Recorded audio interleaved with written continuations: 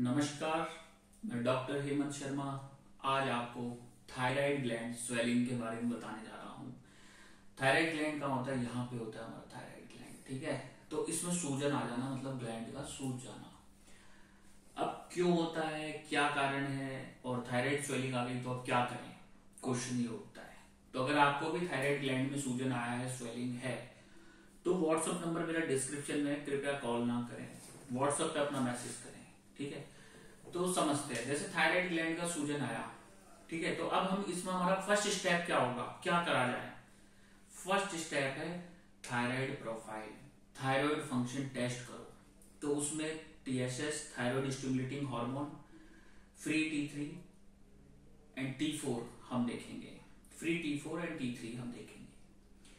तो अब thyroid profile से क्या समझा, कैसे क्या करना है? तो जो टीएसएच है अगर आपका कम है और टी थ्री टी फोर ज़्यादा है तो इसका मतलब हाइपर थायरोडिज्म है।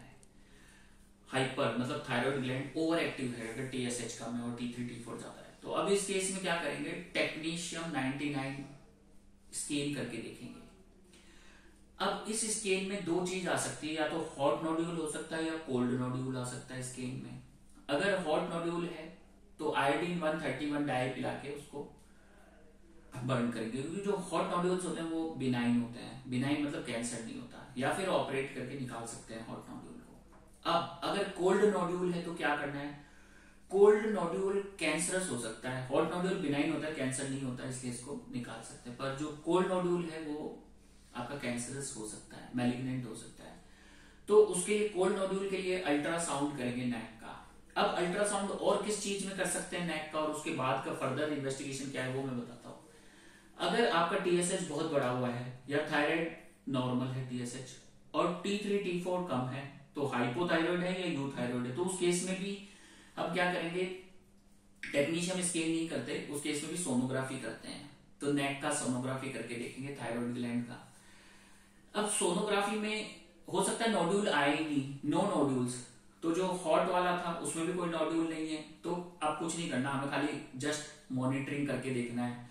और अगर हाइपोथायरॉइड और यू थायरॉइड में भी अगर कोई नोड्यूल नहीं है तो छोड़ दो सिंपल स्क्रीनिंग करके पेशेंट को फॉलो अप पे बुलाओ।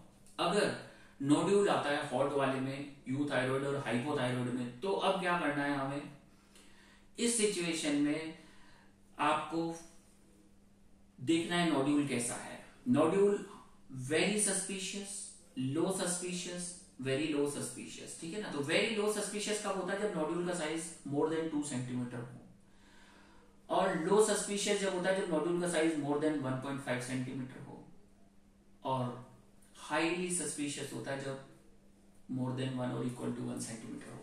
तो अब इस केस में हम करके देखेंगे फाइन निडल एस्पिरेशन साइटोलॉजी जो कि रूल आउट करेगी कि कैंसर किस टाइप का है, कौन सा कैंसर है। तो ये है थायराइड स्वेलिंग को अप्रोच करने का टेक्निक इन्वेस्टिगेशन तो लास्ट में थैंक यू धन्यवाद। ट्रीटमेंट के ऊपर मैं नेक्स्ट वीडियो बनाऊँगा। Different thyroid cancer thyroiditis hypo hyperthyroidism पे मैंने बना रखे हैं, वो आप देखिए। धन्यवाद, नमस्कार गुड बाय